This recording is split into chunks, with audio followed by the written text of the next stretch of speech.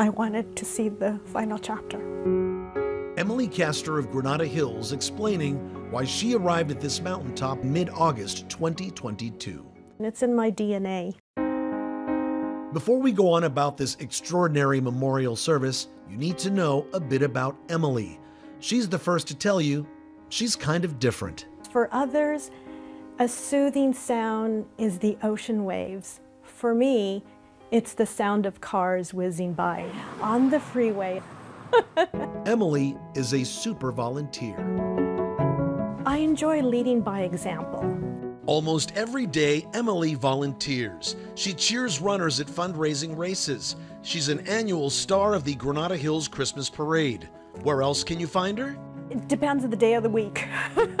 On Fridays, it's the ER at Providence Holy Cross Hospital. On Thursdays, so I'm at UCLA Emergency Department. Where she stocks the hospital's geriatric cart. Magnifying glass and the crossword puzzles, they're, they have big letters and numbers. And visits with seniors waiting for care. I cannot make them better, but at least I could be there to listen and, and bring them comfort. On Wednesdays, Emily picks up trash with volunteers cleaning communities or VCC. And every Saturday with VCC, I'll be on the freeway. The 118, aka Emily's Happy Place. So we actually walk down with our helmets and our pickers and our bags. That, and we pick up trash, uh, tires, uh, empty cups. So you find all kinds of stuff. In fact, that's where I found we found Norman. Emily is referring to this, a box on the side of the freeway. And it contained human ashes. So I took it upon myself to take the box and I actually brought it home with me. The name on top, Norman Scott Jones. With my determination, I thought I got to find out who this Norman Scott Jones is. Emily contacted the crematorium, the coroner, and the Devonshire division of the LAPD.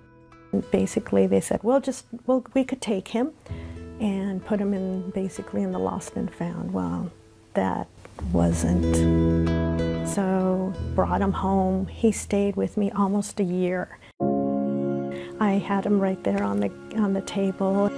Norman was there to celebrate holidays with Emily and her family. I decorated him with um, like on Valentine's, hearts. Emily's research revealed Norman had no family but had a best friend, and when his friend got dementia, basically throw him out on the freeway.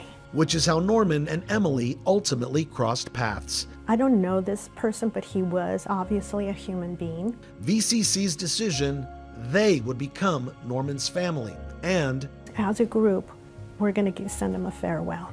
They packed up Norman, headed up the mountain, then hiked to an undisclosed location much more beautiful than the side of the freeway. With VCC members watching from behind her, Emily sat on the mountaintop and opened Norman's box and watched his ashes blow in the wind. He's in a restful place. The tears are bittersweet.